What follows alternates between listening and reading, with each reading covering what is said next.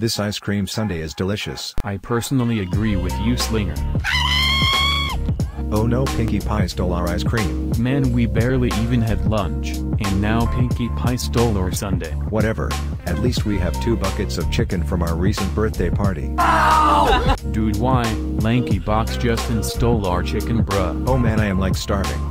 Why do people keep stealing our food? I think we may have some ice cream cake over there, let's get a slice. Great idea crossbower, also let's hope that no one steals it.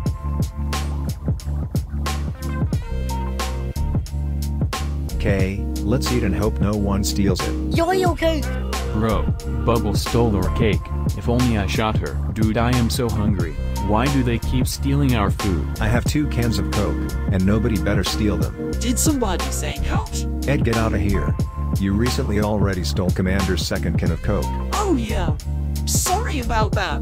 I know. Finally, we can drink our coke in peace. I also hid these Doritos somewhere without telling them. Perfect.